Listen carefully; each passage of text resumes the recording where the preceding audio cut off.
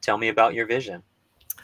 Oh, well, um, I guess on, on a sort of um, large scale and backstory a little bit, um, relationships and love, whether it's with my kids, my parents, my partner, whatever, has always been super important to me.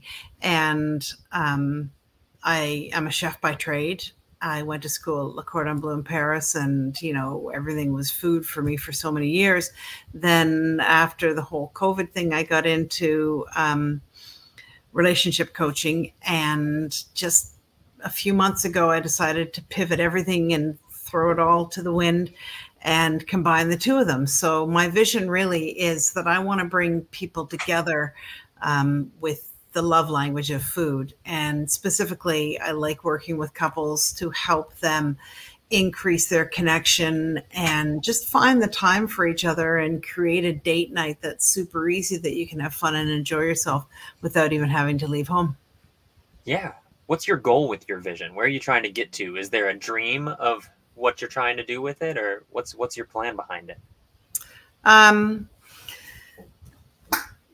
I think I, I just want to um, create awareness and I want to become sort of the go to person to create something beautiful with your partner. Um, I'm also at the same time, I'm working on doing retreats like weekend couples retreats in France in a farmhouse and you know doing some couples workshops but still doing cooking classes and traveling around so i want that to become part of it but I want it to be super easy for people to access and find out how they can do this date night and have a little help connecting with their partner. And I just want to, I guess I want to reach more people. Yeah, I got you. How do you say leaders lean into funding their vision?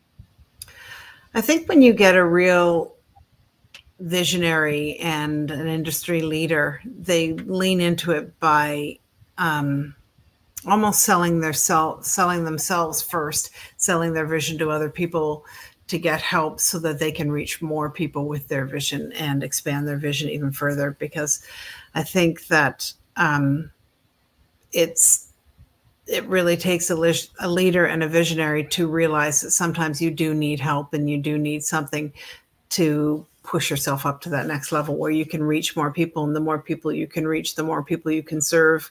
And it just becomes sort of an important factor Thank you for being here today. I'm really happy that you tuned in to Vision Pros Live. I'm looking forward to seeing your reactions as these episodes continue to move forward. This is going to get more and more fun. We'll have more and more engagement as well. We'll invite people to participate in the show. And thank you for giving us your time and attention. Have an excellent time building out your vision and becoming a vision pro yourself.